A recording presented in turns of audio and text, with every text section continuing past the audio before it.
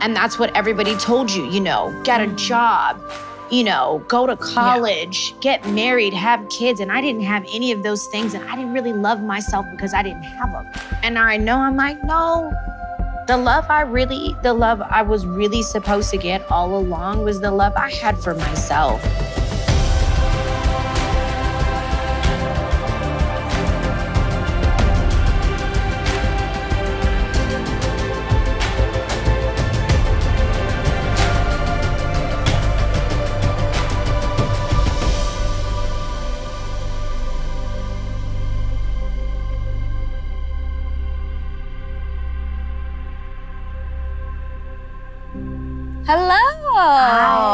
You guys. How are you? Great. Wonderful. And you? So good. Thank you so much for sitting down with me. It Of means a lot, truly.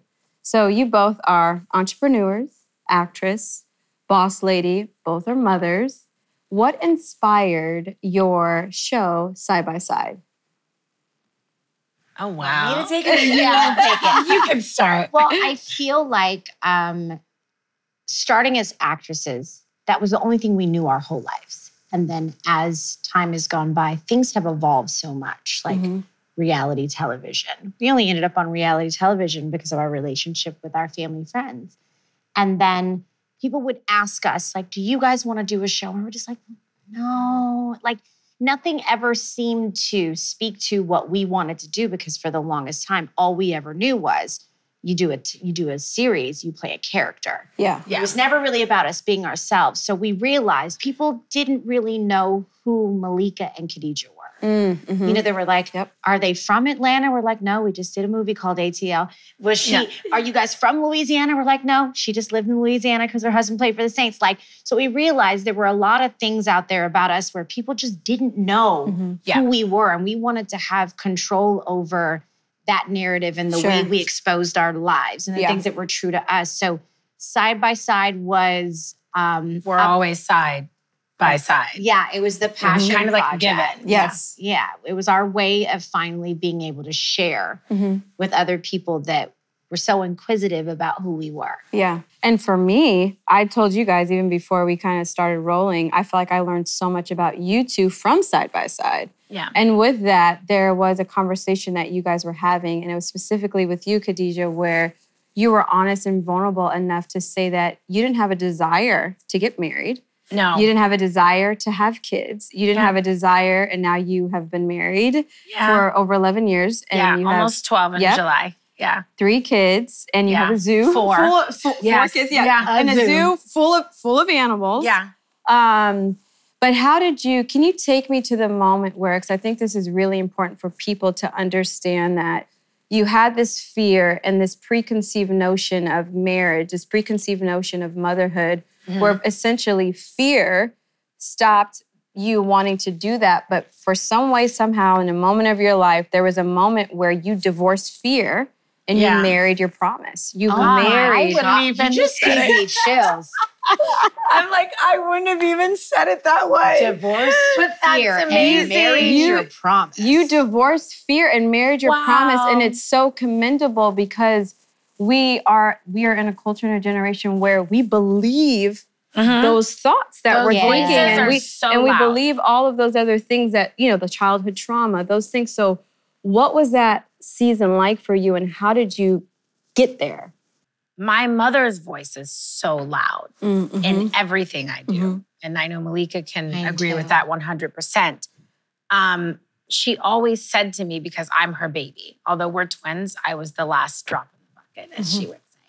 So she would always say to me, like, no, you are going to get married and you are going to have children. And I know that's going to happen for you. I've seen it. I've prayed about it. I've prayed about it for all my girls. And she was like, it's not when it's going to happen for you, it's going to be who it happens for you. Mm-hmm. And she was right yeah, because this one wasn't happening any other way. but then, no, if it's us, then it's us. And that's what we're doing. And it wasn't like in the shape of an ultimatum. Mm. It was the way someone presents themselves in your life where they go, No, I, I'm for your life. I love you. I'll take care of you. I think that that's what people are sometimes a little scared to show you. sure. And I'd never seen it not having the best of male role models in my life. I needed to see someone Mhm. I saw men leave. I Mhm. didn't see them stay. And so Mm. when this one was like, no, I'm staying because I love you and this is what I want for us, this is what I want for our whole family. I was like, oh, well, I didn't know that was even a thing. Yeah, you know? that's good. What words could you lend to someone that is where you are, that had that fear of all of that because of the trauma? I think things happen in our lives and we're conditioned or we're protecting ourselves, which I think is important.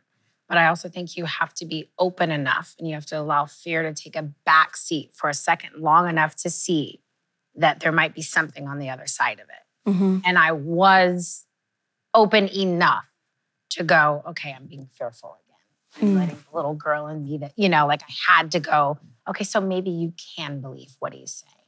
Maybe Mm. you can watch the actions versus the words. Mm-hmm. And then you can allow your mental to protect your your emotional. yeah. So I think that's probably the best advice I would have to give. Yeah. Thank God for transitions in our life. It's like an either, it's an opportunity for us to either grow, mm-hmm. Right. you know, and like push Yeah. against that opposition, or it's either we'll marry back with fear, Yeah. you know. But I think with even for me, because like we talked, I have a 15 month old, a toddler, and Yeah. just there is that there is that guilt that comes over. Yeah. There is is that fear of the unknown Yeah. that comes over. So, I mean, either one of you can answer this. How do you, in your motherhood, deal with the fear of the uncertainties of is this the best school for them to go to? Is this the best caregiver for them? Is this Yeah. the best church for them? Is this the best? How, how, how do you guys navigate those waters? Because it's tough. gosh, I I've made in my mind the right decisions and I've made the wrong decisions. I had a child repeat a grade. I've had a child go to four different schools in 2 years. I have had the adjustments of Mhm. trying to make the right decision for them, but sometimes if we don't try it, it's just like learning a food for the first time Yeah. if you don't actually taste it, how do you know you don't like it? How do you know it's good for you or you're allergic to it? Mhm. Like, you know, so it is trial and error. Mhm. And I think that I've had to do so much of that to go, oh, now that I know that I, I'm I'm okay with trying, I know that sometimes I'll fail. Yeah. Then I can be okay with failure long enough to get back up and go, I'm I'm gonna try to do the right thing this time now. Mhm. You know, like Yeah. I think you just you have to give yourself, like she said, a little bit of grace. Yeah. What do you guys lean on that it, during uncertainty? Each other, all the time. family, We're extremely dependent. prayer. Mm-hmm. Just about you have so many thoughts that go through your head in one day and to recognize that more than half of them are not true More than- more than that- half. yeah that More you than half. should let roll through and fly out Yeah. like Yeah. most things we allow to stick with us because it might just seem to work you know in some area of your life but it's not something you're supposed to marry to it's not something you're supposed to characterize yourself off of whether that's yourself another human being a situation like we have to learn how to let things go so we communicate But that is so way. hard No, it Tough. is. to let things tough go. but i tell you when you don't let it go you're holding it and Yeah. something else is on its way and you're making it and harder that's on how we're like, yourself. well, babe, well, look, today's today. Today's Yeah. the date. And guess Yeah. what? To- something's coming tomorrow. Yes. So we're still hanging on to what happened today, come on. we're going to have a much harder time getting through tomorrow. The one thing that's consistent in life is change. You're not always going to be happy with that change. It's what you do when you're faced with it that matters the most. Cry, kick, scream, because we do all of that. Mhm. But then you got to move on because guess what? Another storm's coming. Take me to a challenge in your life where it came at you and you're like, I can't make it. I'm not going to make it out of this. But you did. Um, Khadijah might know that answer. Yeah, She I knows mean, it. I've I've met a I've met a few. She's met a few. I've met a few, but you know, I think I feel so blessed to have ever had my son. But he is the greatest change that I ever knew. Now, I was the girl that made a wedding book. You couldn't tell me that my prince wasn't going to roll in on a big black shiny horse and we weren't Yeah. going to you couldn't have told me that. I am not married and didn't have my first baby until I was 37 years old. So nothing that I thought was going to happen actually happened for me. So I had to get knocked kind of off of a high horse, but I later on realized that I got what I needed when I was truly ready for it because I needed to grow up. Yeah. You I better did say not it. Mm-hmm. have what I wanted because I was too She childish. wasn't ready for it. I was too- I, I I was so comfortable with being auntie and making money and Yep. being there for my sisters and my friends and all of that. But there was a place where I needed to be That's a good. little less selfish to get all those things I said Mm. I wanted. Yeah. Are you happy then that you got knocked off your horse? Oh, absolutely. I would do it all over again. Mm. Mm. Bumps, bruises, Especially the ways I was hurt, the pe- Mm. the other people that I hurt, like because you know where it, t- it took Where you. it oh took- yeah. God, God, you know- yes, yes. And I think you, it, I had to get on this side and realize it wasn't everybody doing something to Malika. You play a major role in your own outcome. Switching gears a bit. Hopefully, we are at the end of this pandemic. Ah, Who knows? I pray. I, I pray, please, Lord, Father. Tired. um, I believe it was an opportunity for a lot of us. I mean, it was a big, just the overarching theme of the pandemic, I feel like represented transition for a lot of us. Yeah. Um, transitioning into and transitioning out of things. What do you guys believe that you were transitioning out of and ordering order to transition into? What Hmm. old did you transition out of and what new have you transitioned into? It's a really good question. it is. I know I'm transitioned out of having more children. You found that answer. I have four now. I like, think we're good. Yes. That I came out of the pandemic Yes. and no more kids. Yeah, I went into it with three. I came out with four. Yeah. Um, I do have a feeling of completion in that though. So Mm, I'm joking good. Yes. and I'm kidding. totally. But I'm like, we're we're we're three on three now. We got three boys, three girls, including mom and dad. yes. And I do feel like we're complete. And that's such a blessing. Yeah, that's a good feeling. And the best part about it is like because dad still wanted one Yeah. and was still eager to have one. And so feeling like he's finally in the complete Yeah, place. you're, you're good now. You're like, you're done? yeah, Yeah, good. You're, you're sure. good. Did I make you happy? Great, you know? So Yeah. it feels like that, but it also feels like, okay, you know what? I've done that. Now I get to raise them. Now I get Mm-hmm. to make them proud. Now I get to make my mistakes. Now I get to Mhm. learn from them. Now I get to, Mm-hmm. You know, I'm still, we say it all the time, we're growing up with our kids.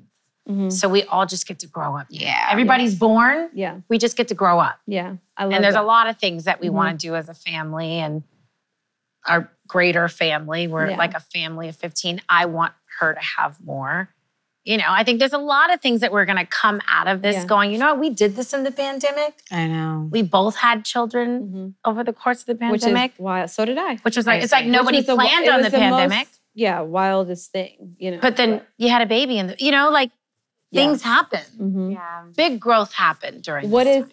Okay, how about this? What's one proclivity, one weakness, one thing that you transitioned out of that you Hmm. are trying to transition into? For me, it was Forgiveness. Mm, She did.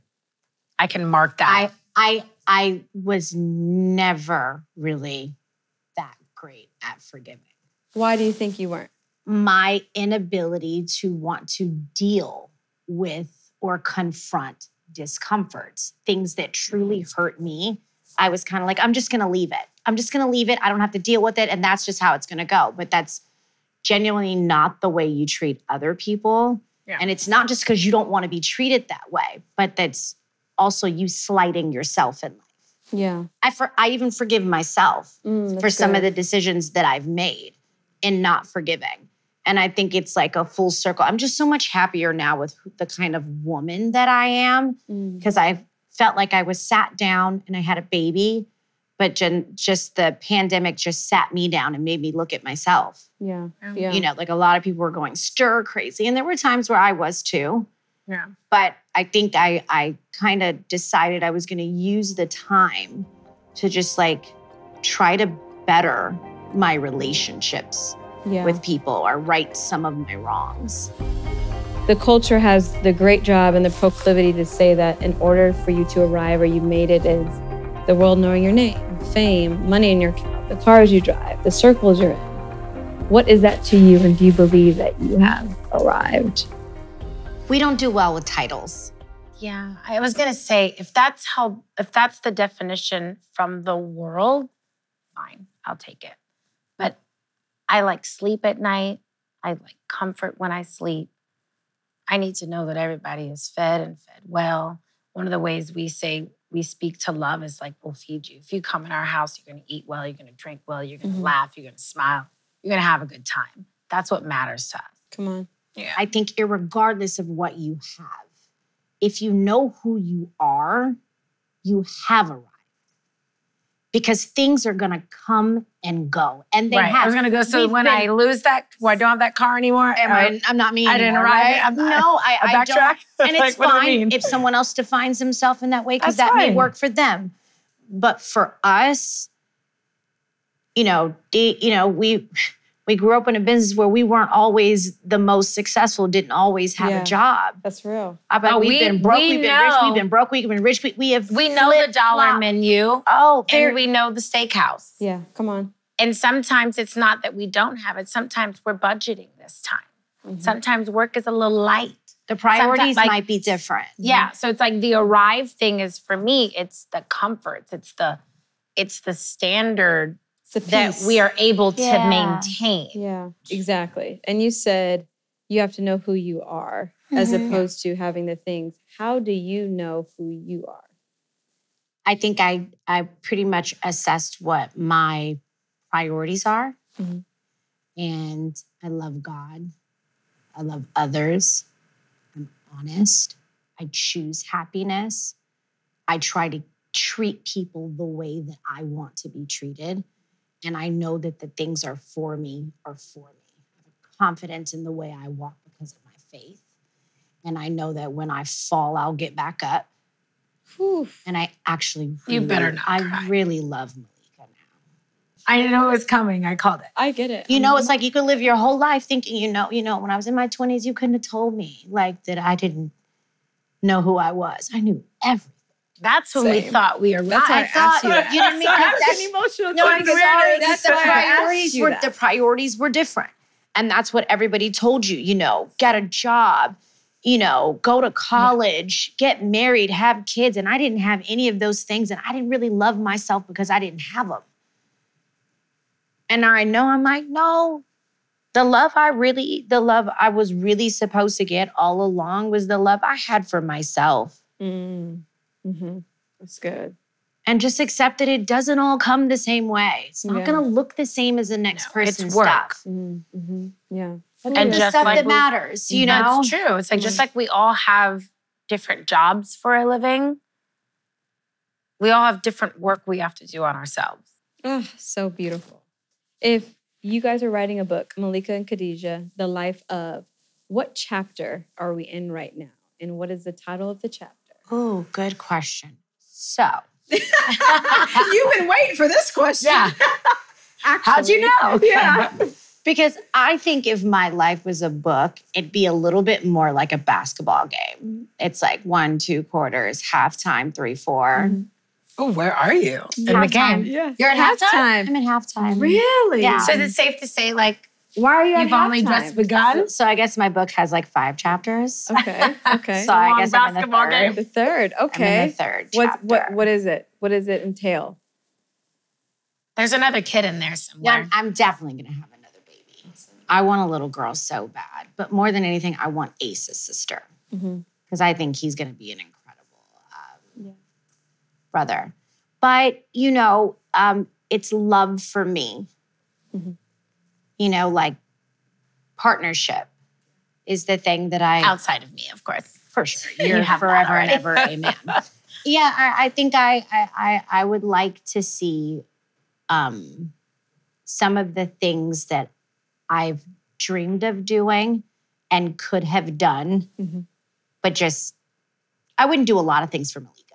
Yeah. I'd do everything for everybody else.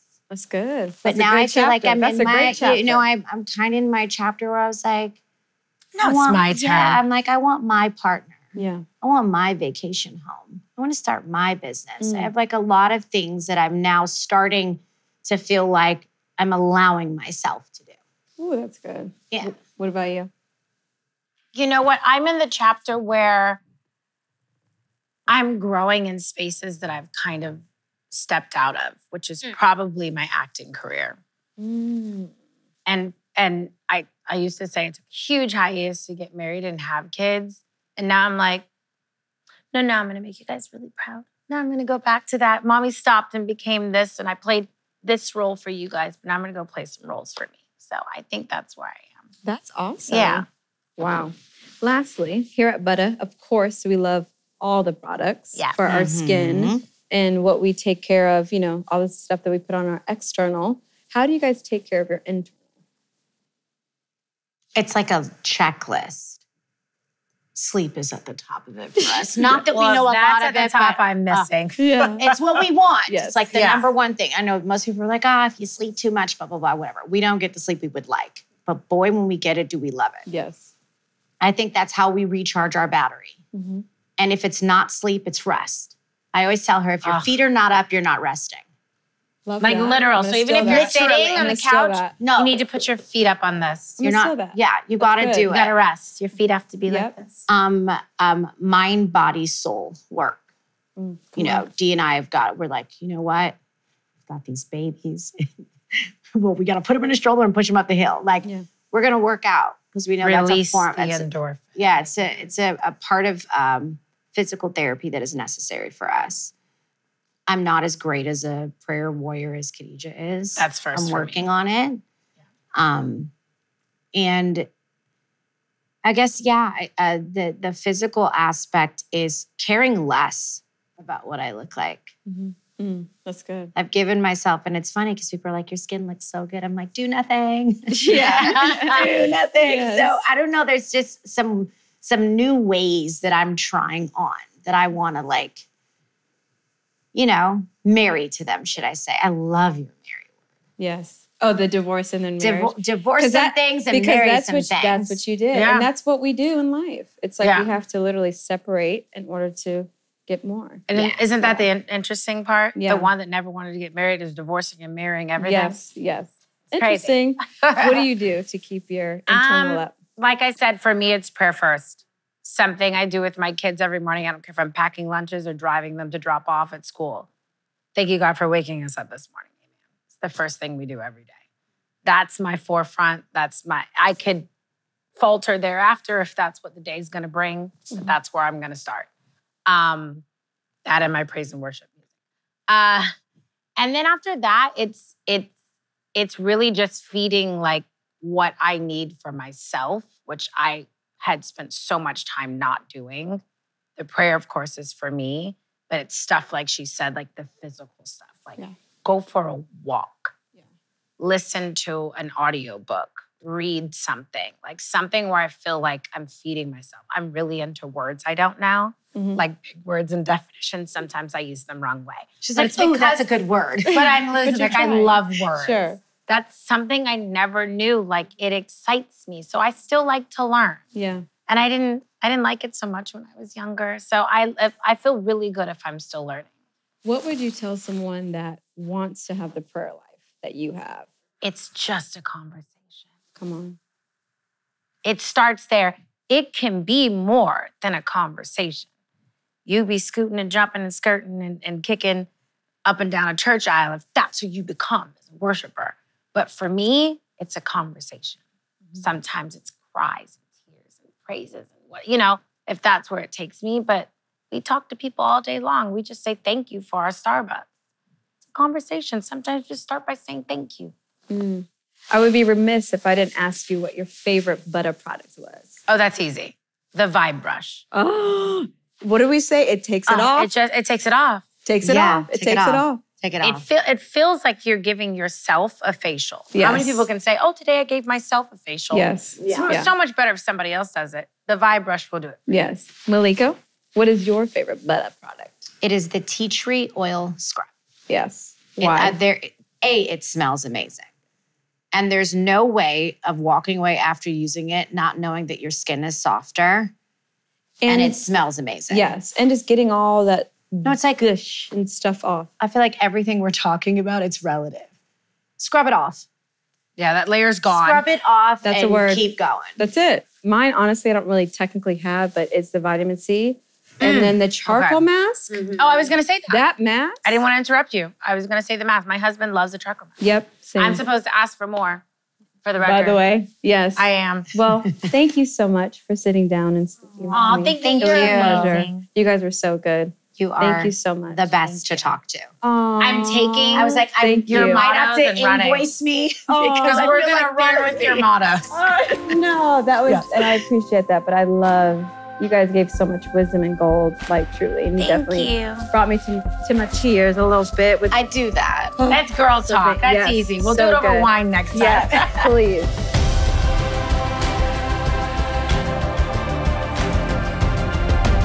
so easy to suffer in silence, right? Especially when you're a strong person and you got it all together. People are used to seeing you that way. And so removing that wall to be vulnerable in a space where now everyone is expecting you to rise to this wonderful occasion and you're going to kill it, you're going to be the best. And there's days that you just like, I don't feel the best.